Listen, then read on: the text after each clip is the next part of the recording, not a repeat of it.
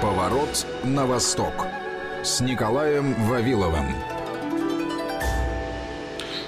Начинаем программу о всех оттенках китайской политики и экономики в студии Вести ФМ Павел Анисимов и китаевед, публицист Николай Вавилов. Николай Николаевич, да, приветствую Павел, вас. приветствую. Вроде у нас как бы не ночной эфир, но 50 оттенков значит, китайской внутренней политики. Похоже, Их придется... больше, наверное, да? Ну, оттенков? там вы правы, да, это вот кто-кто, у китайцев там оттенков Просто, всегда хватает. Да, да. Ну, у многих обывателей, что это вот один оттенок, это красный. Вы каждый да. раз говорите, что там даже в каждом городе очень много противоборствующих э, групп и так далее, сфер влияния, сил влияния. Ну, а, вы знаете, это в целом, э, а, вот если мы рядовых каких-то вот э, ну, людей там берем, которые рядовых слушателей, конечно, ну, это в целом специфика сознания. Так работает mm-hmm. сознание. То есть проще воспринимать все ну, в одном, там, условно, ключе, ну, самое сложное в двух ключах, а реальность гораздо сложнее. Да, иногда проще, иногда сложнее. Вот у нас точно так же, в США также. Это законы, они, понимаете, то в этом и смысл науки. То есть это изоморфность а, мира. Изоморфность, ну, например, физики, да, то есть что это значит? Что если есть притяжение на Земле, то оно есть на Луне, да и, значит, э, и на Юпитере и так далее и тому подобное. Следовательно, можно делать расчеты и, соответственно, создавать там летательные аппараты и прочее, прочее, и всякие там луноходы, исходя из этих законов физики. Если это наука, в ней не должно быть логических противоречий. Любая наука подчиняется законам формальной логики, если политическая борьба есть в Венесуэле, Франции, Турции, Великобритании, Соединенных Штатах, ну, не побоюсь этого слова, в Российской Федерации – значит, почему ее не должно быть в Китае? Mm. То есть люди, которые изначально заявляют о том, что Китай однороден, значит, и, кстати говоря, из этого пляшут дальше свои далеко идущие выводы, что, дескать, вот, значит, там а, Китай, значит, США, значит, э, какие-то там позитивные сигналы посылает, и значит, все, значит, по рукам они ударили, значит, угу. шеф все пропало, гипс снимает, там, что клиент уезжает и так далее, да. Вот, значит, э, Китай неоднороден, а, и политология, нормальная классическая политология, которая, конечно, должна базироваться в первую очередь на юриспруденции, как науки, изучающие государственное право и все остальное, она такая же, как все остальные естественные науки. Если есть политическая борьба здесь, она есть там, и она есть повсюду. И есть разные группировки, они борются. И важно, следовательно, дальше надо их просто вычислить, значит, где, где Луна, где Земля, где Солнце, mm кто от кого пляшет, значит, э, и так далее. И дальше по этим законам работать. Вот мы по этим законам работаем, и пока что вот в целом, да, в нашей передаче все идет так, как было сказано. То есть дальнейшая продолжается борьба Си Цзиньпина, представителя антиамериканской линии, и в этом только нужно ключе трактовать его визит Си Цзиньпина в Сан-Франциско как вынужденный. Все реверансы, которые сейчас китайская сторона делает, тоже вынужденные. Возможно, это большая сделка, Антиамериканизм – это антологическое, то есть присущее от рождения э, свойство политической группы Си Цзиньпина. Описано он, этот антиамериканизм, э, в книге «Китайская власть». Еще он тянется с 20-30-х годов и с Корейской войны. То есть именно люди вокруг э, сталинская группировка, которая к власти пришла после победы значит, в 1949 году, основания КНР – это те, кто воевали в Корее против США, это антиамериканская война помощи корейскому народу, официальное название в Китае. Вот все руководители, которые были там, это и Пандехуа, и Гауган и так далее, не все были антиамерикански настроены. Значит, и это все показывается, эта линия тянется, и эта борьба продолжается. Это драматическая смерть премьера Ликотяна 68, 60, на 68 лет, да, соответственно, а, и так далее и тому подобное. То есть есть система, есть система в физике, в низовых телах, есть система в гуманитарных науках. К сожалению, а, все, что я наблюдаю в гуманитарных науках, это сплошное либо, ну, скажем, прямое нарушение законов формальной логики, то есть это болтовня, например, сказочничество какое-то, да, либо это, ну, подлог, да, то есть когда люди изначально, исходя из своих задач политических, да, доказать, что у России нет союзника, Китайская Народная Республика, значит, э, пытаются вот эту идеологические свои э, или там условно запросы от их групп, э, которые финансируют их и так далее, как-то вот распространить эту историю на значит, как назвать это научным. У нас же мир, мир, мир науки, да, 20 век, век науки. Значит, если наука, значит, надо верить. Правильно? Британские угу. ученые доказали, да? Да. Ну, все, значит, ну, это же, это же уже мемом становится, что наука стала просто религия, и если у вас там, если это какой-нибудь кандидат наук, значит, высшая школа экономики, ну, я не хочу всех под одну ребенку никого прям там лишнего обидеть, но Значит, ну, ну человек сказал, ну, китайцы Си Цзиньпин, ну, в США летит, значит, все, значит, все пропало это. А вот вы мне что скажете на это? А Джан Юся? Да? Джан Юся, да, кстати, был прием делегации военных из Китая во главе с зампредседателя Центрального военного комитета Китая Джан Юся. Принимал его и Владимир Путин, и Сергей Шойгу. Обстоятельные были переговоры. Отмечено, что отношения между Москвой и Китаем – это образец э, между Москвой и Пекином, образец э, стратегического взаимодействия, основанного на доверии и уважении. И э, примечательно, что высокопоставленный китайский военный приехал в Россию ровно за неделю до ожидаемой встречи как раз Си Цзиньпина и Байдена на саммите АТС в Сан-Франциско. И говорят, что вот этот визит важный знак Вашингтону, накануне переговоров лидеров двух сверхдержав. Хотя, наверное, попрошу вас сначала пояснить место Джан Юся да. в, во властной иерархии Китая. Да. да, вот вы, Павел, сказали, говорят, что это сигнал Вашингтона. Говорят, Говорит да. Николай Вавилов в своем телеграм-канале Китай Николай Вавилов. Подписывайтесь. Значит, э, э, мне из космоса было видение 1 ноября, что Джан Юся посетит Москву. Планировалось там 5-7 ноября. Вот 8 ноября вышли, значит, новости, в, что он находится в Москве и так далее. Вот, значит, ну вот космос не врет, как говорится, да. Ладно, минутки юмора, да. То есть, ну, действительно, 1 ноября мы сказали, что Джан Юся совершит в ближайшее время свой визит в Москву перед визитом Си Цзиньпина в Сан-Франциско. А, это будет знаковый визит в телеграм-канале, это все есть. Значит, да, действительно так и случилось. Э, знаковая дата была выбрана, то ли 5, то ли 7 ноября. Значит, там, значит, пути Джан Юся неисповедимо, как он ехал там, значит, как он добирался до Москвы. Тем не менее, значит, а, Джан Юся, да, кто это такой? Значит, первое, это есть в Китае Центральный военный комитет. Его, не знаю, по какой-то прихоти наших востоковедов, чтобы не путать с Центральным комитетом Компартии, значит, mm. начали называть Совет. И вот он так закоч... перекочевал и в Синьхуа, пишет, и ТАСС. Ну, я никого там, не, не призываю комитет использовать, но это слово такое же, как в Центральном комитете, да, это Вэй Янхуэй, да, то есть это комитет. Значит, Центральный военный комитет, а, коммунистический центрального комитета, Центральный военный комитет, значит, а, Центрального военного комитета Компартии Китая. А, он избирается из состава Центрального комитета Компартии на съезде раз в пять лет. Значит, Центральный военный комитет – это орган политического управления армией, его возглавляет, э, то есть это что-то партийный такой совет безопасности, который конкретно управляет Народно-освободительной армией Китая и Народной, и Народной вооруженной полицией Китая, то есть внутренними войсками, аналогом Росгвардии. Значит, э, значит, вооруженная народная полиция переподчинена значит, Центральному военному комитету из ведения Госсовета в 2018 году, э, в конце 2017 года, да, значит, одновременно с тем же, как Росгвардия была значит, э, непосредственно подчинена президенту Российской Федерации вот один год в год, Значит, э, это орган управления политической армией, потому что, ну, по сути дела, в Конституции никак э, все, многие думают, что там диктатура Компартии, значит, в Китае. В китайской конституции очень важно. Нет ничего, чтобы написано было напрямую, что Компартия управляет Китаем первой главе Конституции, первой статье Конституции написано, что китайская компартия является неотъемлемым значит, э, символом э, социализма с китайской спецификой, вот и все. Это появилось тоже при изменении в Конституции, до этого даже этой строчки не было. Да, там написано, что Китай социалистическое государство, диктатура пролетариата, но роли управляющей над партией, что эта партия прямо угу. управляет, нет такого. Значит, э, и партия создает определенный механизм, в частности, Центральный военный комитет, дефис Совет, да, который, значит, возглавляет Цзиньпин, его там два заместителя традиционно. Сейчас это Джан Юся, который остался, несмотря на свой возраст, э, он перешагнул через 70 на момент 20-го съезда, но он остался.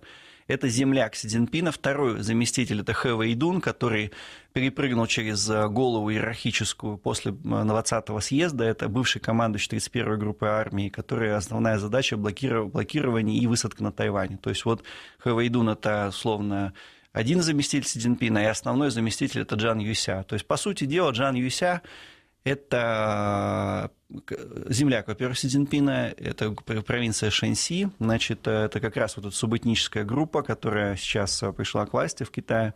Соответственно, это по сути дела, я пытаюсь как бы так сказать аккуратно, чтобы не слишком не не было, не сказать, что он равен Си Цзиньпину. Вот угу. Как бы так сказать, что он не равен Си Цзиньпину? Вот э, я не знаю, получится Николай Николаевич да. или нет. Вот в сравнении, да. вот наша аудитория, которая постарше, которая помнит еще советские годы, да. если сравнивать э, вот эту иерархию с КПСС, ЦК КПСС mm. и с правительством, можно ли сказать, что э, Джан Юся это из политбюро ЦК КПСС, который курирует... армией курирует э, да. армию. Можно да, так? Да, армию, политические решения армии, министр обороны, генеральный штаб и так далее. Еще в Центральном военном комитете, кроме Си Цзиньпина, Джан Юсяха, Вейдуна, был министр обороны, э, значит, Ли Шанфу. За ним по иерархии следует Лю Джен Ли, начальник генерального штаба. А, значит, э, Джан Шен Мин – это представитель э, центра... Э, комитета контроля, а, Центрального комитета контроля. Мы сейчас просто углубимся mm. в историю. Это очень да. интересный, на самом деле, момент, но мы сейчас не будем постепенно, как дело до них дойдет. Mm. Китай не дает, не дает нам расслабляться, до, всех дойдет дело. Значит, Джан Шен Мин – это тот, кто курирует непосредственно а, это важно, на самом деле, да, как у них политическое руководство курирует а, органы контроля партийные в армии, да, то есть это, причем комитет контроля, независимо от Центрального комитета орган, он также является членом а, постоянного комитета, комитета контроля, этот Джан Шенмин, и Значит, Мяо Хуа, э, такой последний, да, как этот, как -то последний, но не, не самый значимый, last but doesn't least, или как там mm-hmm. правильно англичане говорят значит, бывший адмирал, ну, действующий адмирал, начальник политического управления. Значит, по-моему, я ничего не перепутал в их местах, если перепутал шестого, там, пятого, шестого, седьмым, прошу прощения, но примерно вот они вот такой вот э, э, представляют высший орган партийного. Дан Юся, вот Си Цзиньпин, понимаете, это человек, который и председатель КНР, и генеральный секретарь коммунистической партии, значит, э, а, то есть это человек, это лицо, лицо вот этой шенсийской политической группы, фронтмен, как сейчас важно говорить. Значит, за ним в каждой отрасли есть равновеликие игроки. Вот Жан Юся – это самый главный силовик этой политической группы, mm-hmm. самый главный силовик э, вообще в э, Китае, и в Китае, вот в отличие от нас, то есть у нас очень много в роли становления советского государства и продолжателя советского государства Российской Федерации играли органы безопасности. В Китае немножко не так. В Китае кости государства – это армия. То есть Народно-освободительная армия Китая, МГБ – Э, значит, Министерство общественной безопасности, аналог МВД, прокуратура, они всегда играли второстепенное значение. То есть всегда была на первом месте армия, и армия в основном и часто используется как механизм внутренней политической стабильности. Джан Юся сделал свою карьеру, во-первых, в значит, армии, если не ошибаюсь, 14-й армии, а, это все Шэньси, это вот родная провинция Си Цзиньпина, откуда все вот, соответственно, туда. Ну и вообще э, в Китае не все э, годны в солдаты, а, китайская армия состоит из трех больших группировок. Это северо-западный Китай, это Ланчжовский бывший военный округ Шэньси, это шаньдунские офицеры, значит, и северо-восточные, приграничные с Россией. То есть это самые такие, значит, вояки, значит, э, если что, сразу в драку, в отличие от обычных китайцев, да, которые в центре живут. Еще немножко сычуаньцы, вояки. Все остальные не считаются, не котируются как вояки, кроме как фудзяньцы, они офицеры флота да, то есть они уже не боятся плавать и так далее. А политическая, кстати, элита сейчас формируется из фудзянцев. То есть Джан Юся – это человек, который второй раз видит Владимира Путина, последний раз они в 17 по-моему, году встречались и так далее. То есть это, э, ну, как бы человек, равный Си Цзиньпину, посетил Россию спустя 10 дней после общения с Сергеем Кожугетовичем Шойгу на Э, Сяншаньском э, форуме безопасности, главный форум Министерства обороны Китайской Народной Республики. Скорее всего, это потенциально будущий министр обороны, хотя не факт. Ну, скорее всего, как произошло... Это не будет для него понижение, потому нет, что... Нет, это будет как схема, как с Ван Yi. Mm. Ван Yi же, он был куратором партийным, то есть выше, верхнеуровневым mm. куратором э, внешней политики, да, в том числе и стратегического диалога. После смещения Цингана как говорится, он объединил в себе и партийную, и исполнительную власть. Такого очень давно очень не было. Возможно, сейчас Жан Юйся после этого визита фактически, ну, Американцы уже говорят, что у нас будет возвращен диалог стратегический, военный, там, скорее всего, с ним будет вести Джан Юся, и, скорее всего, они ждут, что это будет министр обороны, да, хотя я не знаю, я сразу предполагал, когда Ли, Джан, Ли Шанфу пропал, что министром обороны будет либо, ну, сверху кто-то, я не предполагал, что Джан Юся сможет сосредоточить в себе такую власть, на самом деле это означает, что политическая группа непосредственно в самый близкий круг Си Цзиньпина вокруг себя, а теперь Министерство обороны, что такое Министерство обороны? Министерство обороны – это не только политическая военная власть, а это еще 230 миллиардов примерно долларов военного бюджета открытого и еще столько же примерно э, значит, распиханного по смежным областям. Разные неокры, долларов. Да, они разные неокры, там э, всякие, значит, э, строительства, там всякое прочее остальное. Ну, вот китайцы много чего как бы сразу не показывают, но это очень империя настоящая. Китай после прихода Си Цзиньпина к власти снова статус военного крайне высоко поднялся. То есть это... они денег не жалеют на армию?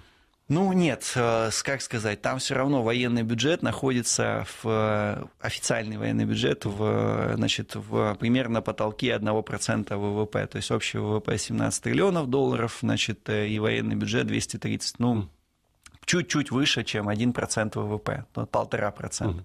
Япония постаралась выйти уже сейчас на 2%, ну, в перспективе это триллион. Если начнется военная операция на Тайване, это все это поменяет кардинально макроэкономическую структуру Китая. Раньше там из девелопера, значит, те, кто строил, деньги получали, и из-за этого счет развивалась экономика. Кстати, напомню, что военный ВПК позволил Соединенным Штатам вылезти из а, депрессии великой во время угу. Второй мировой войны. И вот эта схема рабочая. Называется это, как сказать, все, все старое, все новое, хорошо забытое старое.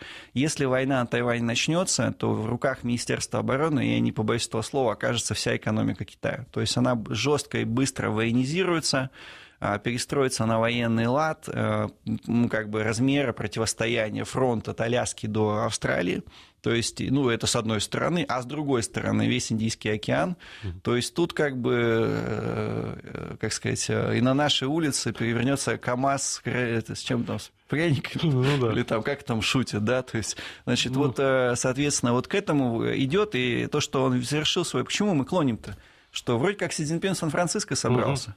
И вроде как все, Байден сказал, я тут э, заставлю этого парня играть э, по правилам, цитату дословно, точка, точка, точка, да, так он сказал значит, э, про Си Цзиньпина, когда ввел свою избирательную, вроде как заставил этого парня играть по правилам, вроде как он едет куда-то в Сан-Франциско, хотя МИД пока не подтвердил, но, как я вам в прошлой передаче говорил, он не подтвердит к 9 значит, ноября. Вот. Но на самом деле правило это правило, а вот Жан Юся, вот он в Россию первый приехал, и с Владимиром Путиным. И вот вы обратили внимание, что там образцовые, но это уже шаблоны наших значит, заявлений, образцов, все правильно, это действительно так, это шаблон, который имеет под собой реальное основание, кроме того, что это образцовая история, меня обратило внимание другое. Джан Юся сказал, как будто в него, значит, вселился вовсе не Джан Юся это приехал, а какой-то, значит, э, начальник э, корпуса стражи исламской революции Ирана приехал, и он сказал, что, значит, Россия, он восхищен, если не ошибаюсь, близко к тексту да. цитата, э, сопротивлением России с, с давлению Запада что-то, может, подменили, там, может быть, там, значит, дух кого там, Раухани, Райси вселился, значит, Джан Юся. Но такое, таких заявлений китайские высокопоставленные военные не делали, тем более официально, тем более на встрече с Владимиром Путиным. Это четкий, ясный сигнал э, Вашингтону, что с Россией остаются стратегические отношения, вы нас, конечно, принудили. Вообще это большой вопрос. Ну, после вот короткой паузы мы это обсудим по поводу визита Си Цзиньпина. Что его... Понимаете, есть две точки зрения на то, что делает Си Цзиньпин и его политику. Те, кто не понимает генезиса группировки Си Цзиньпина, его антологической антиамериканской сущностью, которая от рождения антиамериканская, они думают, что Си Цзиньпин, как другие представители комсомольская вот эта вот проамериканская элита, они договариваются, то есть они крутят хвостом, назову это своими именами, перед американцами, дескать, может быть, да, может быть, нет, вот мы сегодня с Россией дружим. Из этого следует, из этого ложного тезиса следует другой ложный тезис, что союз России ситуативный.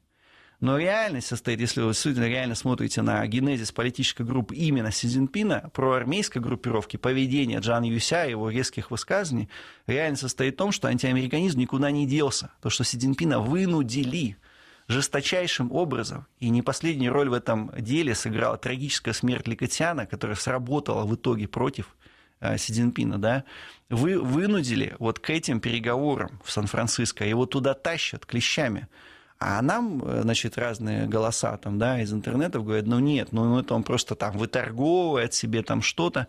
Но одно другого не исключает, что действительно идет большая сделка, и в этой сделке будет Украина, и будет, скорее всего, заморозка этого конфликта ближай, ну, во всяком угу. случае, от Китая, э, США будут об этом точно говорить.